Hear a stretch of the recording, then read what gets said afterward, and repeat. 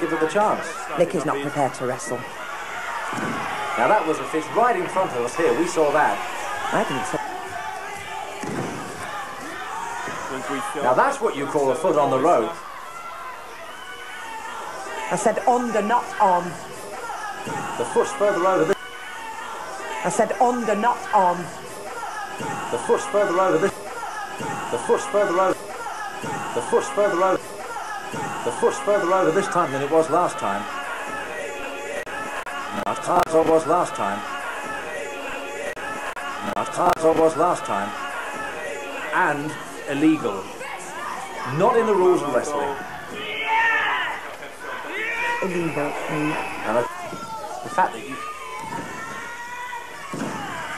Quinn Price.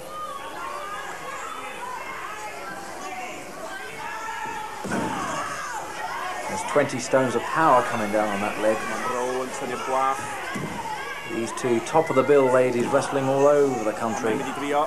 Very popular in wrestling all over the country. Wrestling all over the country. Wrestling all over the country.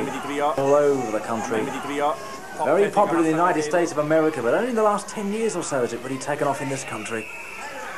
And the fans come in to see these two titans of the ring. Titans or Amazons.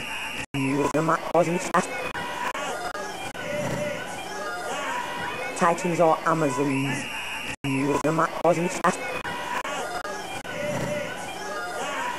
Titans or Amazons.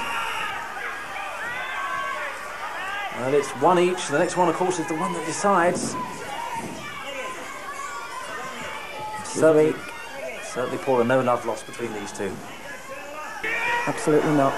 And of course, that's done no good to Nicky's leg. That's weakened it considerably. Kate and I are actually hoping that it's broke. Amanda McCrankin goes.